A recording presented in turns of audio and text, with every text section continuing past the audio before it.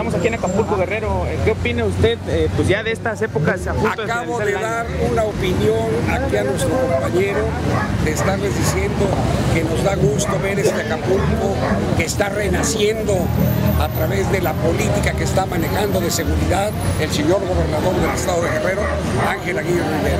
¿Cómo se siente a partir del primero de abril para acá?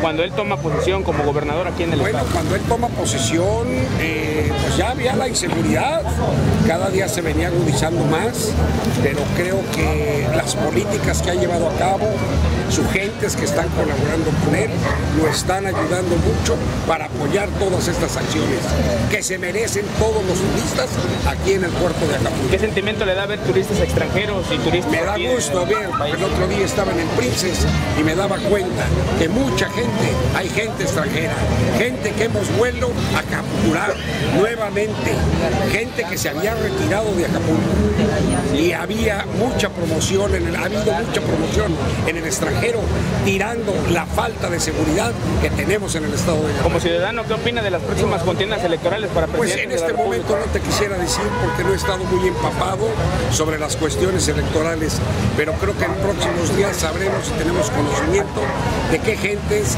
van a contender en el estado de Guerrero. Acapulco ya seguro entonces, eso viene. Acapulco ya seguro, eso viene mucha gente. Yo veo un Acapulco seguro.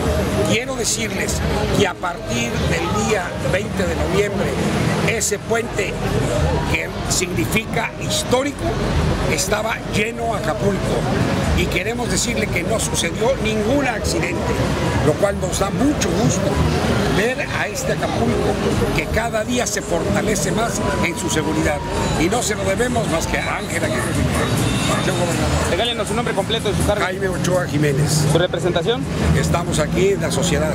Gracias. Hasta luego, señores.